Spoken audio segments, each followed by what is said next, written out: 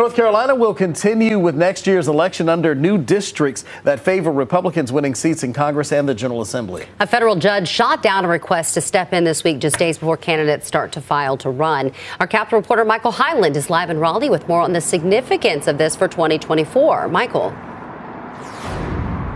And this means that the districts Republicans drew will stay in place, at least for now. Experts who I talked to, though, say they've been surprised by how all this has gone the last few weeks. North Carolina will stay on track to hold its primary election in March, with new districts Republicans drew for the state legislature and the state's 14 seats in the U.S. House of Representatives. Two black voters have sued, saying Republicans unconstitutionally drew the districts for the state Senate by diluting the strength of black voters in the northeastern part of the state. A federal judge rejected their request to weigh in on the case this week, with candidates scheduled to start filing to run beginning Monday. The judge questioned why attorneys waited about four weeks to file their lawsuit. The case will still move forward, but for now it means the districts remain. The judge deciding, no, I'm not going to go along with this uh, sort of outlandish timeline really does make things better for the Republicans who want to see those districts in place.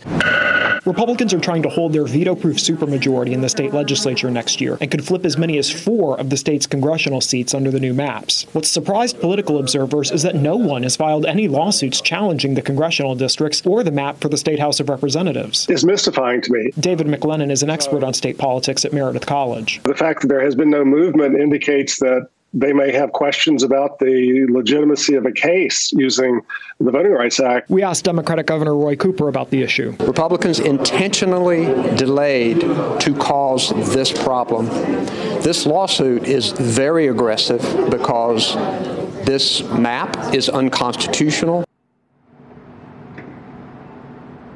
Democrats have indicated that more lawsuits are likely coming, but for now, everything moves forward with the election for next year as planned. Live in Raleigh, Michael Hyland, CBS 17 News.